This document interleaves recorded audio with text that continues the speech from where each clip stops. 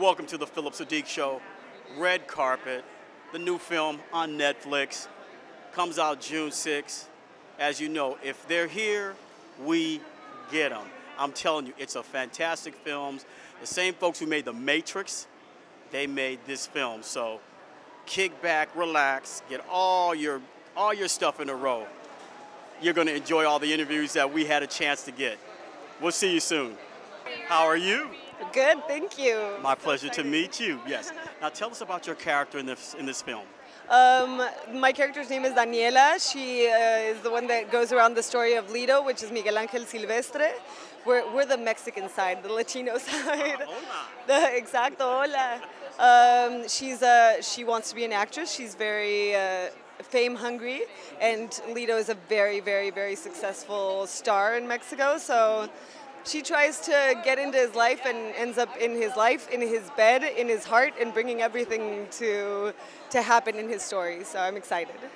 Now, with your audition, where were you when they called you and said, "We want you for this film," and how did it make you feel?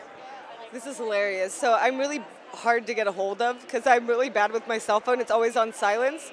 So they couldn't find me to tell me. And I was like, I kept on seeing my phone. I was like, who is this person that I don't recognize the phone number? Like, why are they calling me? And I'd put it away. And all of a sudden, my manager started blowing up my phone. And I answered it, but he's like, you really have to call back the casting director. And I was like, okay, that's weird. So I called her back, and she's like, I just wanted to tell you that you got the part. And I just started crying because for me, this is like, it was just surreal. I, I admire the Wachowskis so much, and James McTeigue, also the director of the part of Mexico, that it was it was out of this world. It still it still is. I can't believe what I'm about to watch. It's insane. I know. I mean, did you scream? Did you crush your phone? I mean, no, I mean I just I kind of just sat in silence and bawled. I just started crying. I was just like sitting there, and Fred, my husband, he was like, "What's going on?" It was like, "I got the part." He's like, "You should be screaming." I was like. I don't have enough air in my body to scream right now. I was so excited. I was so speechless. To me, it's it's been the greatest blessing, mostly because of the most amazing people that I have had the opportunity to meet. fantastic. Sorry, sorry. Just take a minute. That's okay. See that? Bringing friends together and everything else. Exactly. Everything started here in San Francisco, our, our table read, and we all met, and we haven't that seen each other since, so it's just exciting to see our faces. Wow. That is fantastic. Now, basketball, who, who you like? Golden State Warriors, right? Obviously, the Warriors.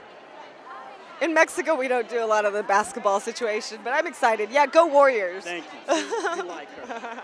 Thank you. Thank I can't wait to see this. Uh, we saw trailers. It was like, I know. holy- you know, can't say it, but you know, we just Yeah. can't wait to see it.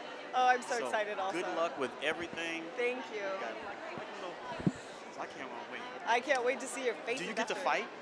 I don't. I don't. I get to be fought over, Oh, okay. but I don't get to fight. I get like Okay. pushed around, and, and they fight over me. That's about it. All beautiful women they fight over. Thank you. Thank you. Nice to meet you too. We hug, we kiss. Okay. It's the way we do.